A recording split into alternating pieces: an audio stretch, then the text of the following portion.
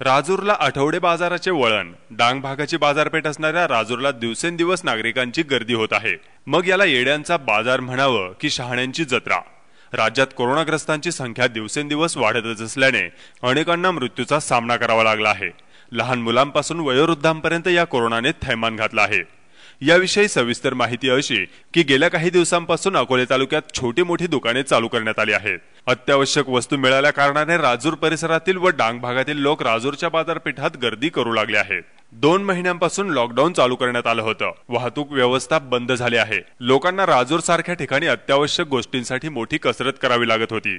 अक्षरशः लोक पन्नास ते साठ किलोमीटर अंतर पायी चालत प्रवास करून अत्यावश्यक किराणा माल व दवाखाना यासाठी येण्याची लगबग सुरू होती. पण काही दिवसांपासून शासनाने सर्व काही चालू केल्याने नागरिकांची अगदी झुंबडच उडाली आहे. लोक गटागटाने राजूर परिसरात खरेदीसाठी गर्दी करत आहेत.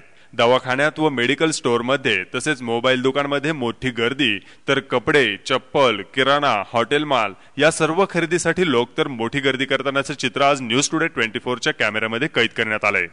अनेकांच्या तोंडाला तर रुमाल व मास्क देखील नव्हता.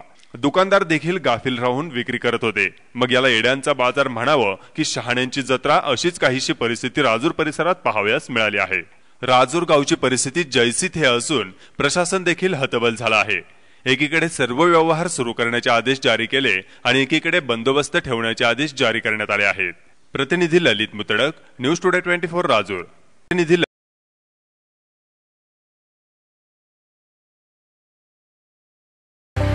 राज्यातल्या आणि देशातल्या ताज्या घडामोडींसाठी आजच आमच्या यूट्यूब चॅनलला सबस्क्राईब करा आणि बेल आयकॉनला क्लिक करा आणि बघत रहा ताज्या घडामोडी.